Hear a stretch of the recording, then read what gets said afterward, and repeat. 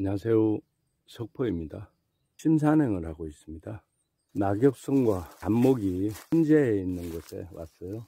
까지는 5행짜리 얼굴도 못 봤네요. 이렇게 군락지어 있는 아이를 소개할까 하고 잠시 발걸음을 멈춰봤습니다. 이 아이는 관중이에요. 여기는 지금 현재 관중들이 습한 곳이라서 계곡 옆쪽이라 습해요. 이 관중들이 군락을 이뤄서 자라고 있네요. 오늘은 이 아이를 들과 함께 알아보겠습니다. 이 아이는 관중이에요. 고사리목의 연막가의 열애살 풀이에요. 이 어린 수는 솜털을 제거하고 삶아서 말려서 고사리처럼 나물로 먹습니다. 이 관중이 올라올 때 솜털을 다 제거를 하셔야 돼요. 솜털을 제거하시고 고사리처럼 삶아서 말렸다가 나물로 먹기도 합니다. 나올 때는 고비하고 비슷하죠. 다만 관중은 털이 나 있죠. 이렇게 이렇게 말려 있어도 이렇게 펴보면은 똘똘똘똘 이렇게 펴져요. 요만큼 길어지잖아요.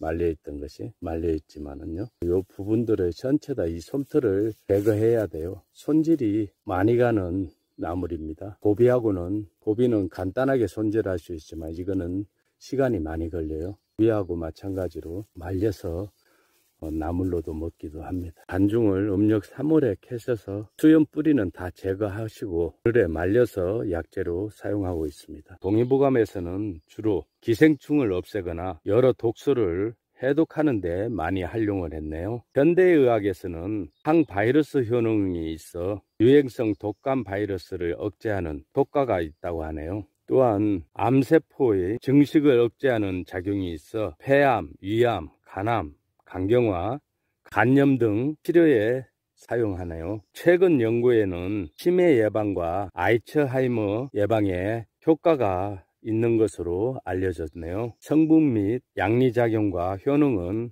영상 하단에 기록하겠습니다. 관중은 약간의 독성이 있어서 가다 복용 시 마비 증세와 시력 감퇴의 부작용을 유발할 수 있습니다. 또한 임산부와 어린아이의 복용을 금하는 것이 좋겠어요.